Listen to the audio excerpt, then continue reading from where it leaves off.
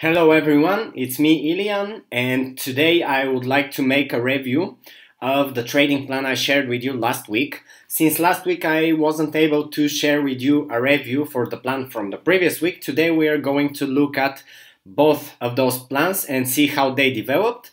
We are not gonna go in a lot of details. I shared three live signals based on those two plans. Uh, one of them worked, uh, the other two failed unfortunately.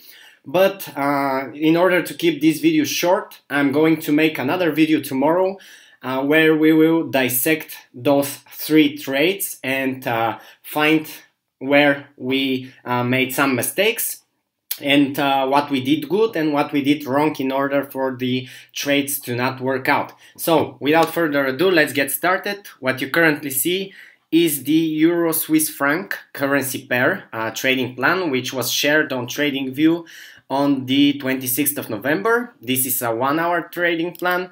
The idea here was a double scenario. Uh, we were expecting either a bounce from here and a drop to this first support area target one or to the second after that. Or uh, we expected a break of this zone of resistance, then a slight correction to it, uh, which we, this zone will turn into a support and then a continuation of the uptrend all the way up to here. Let's see what happened. Okay, as you can see, we saw the bounce from here. It went actually further be beneath the first support area target one and then the uh, the trend reversed and the price went back up to this zone of resistance. And after that we saw as you can see a range between the two areas.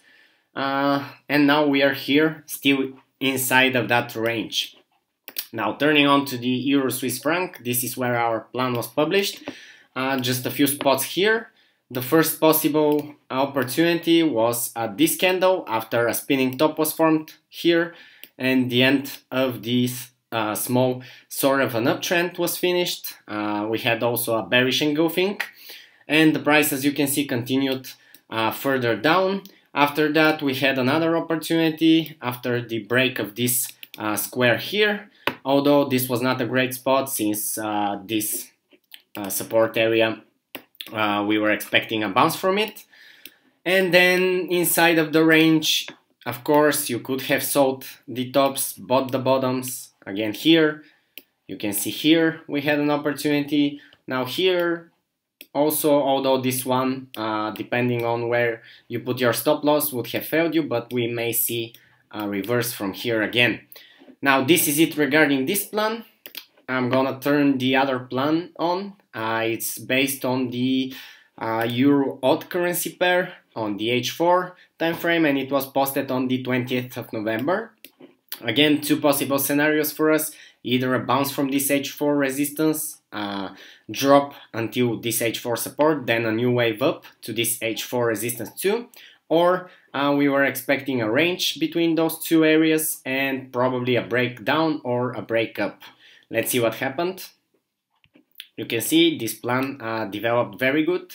We actually saw the range here and then this support area was broken and the price reached the second support. It stopped for a while there and continued further down and from that point you can see uh, what a strong, strong uptrend we saw. Uh, this is also caused by news. So uh, let's just check out the uh, graph itself and see where we could have entered. Now first, this is where the plan was posted. Um, I see a few opportunities here. First here, oh, if we are entering on the H4, of course. Uh, if you go low on lower time frames, you could find more uh, opportunities, but here we had a bearish engulfing exactly at that resistance area.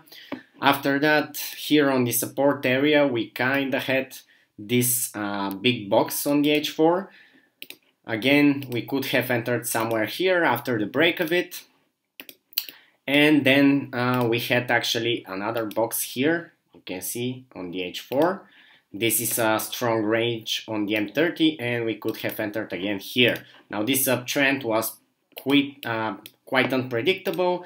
Uh, we should have closed our trades after this uh, bullish engulfing, strong bullish engulfing here. Or if you missed that spot, maximum here after the break of this small sort of consolidation we had. On the 30 minutes, you we had a lot more opportunities, but we are not gonna discuss them now. Uh, we're gonna make uh, the video tomorrow for our trades. So I hope you managed to catch some of those moves on those two plans. Uh, there were there were some good opportunities, and I hope you made some good profits. See you tomorrow with a trade dissection video of our three live signals based on this plan.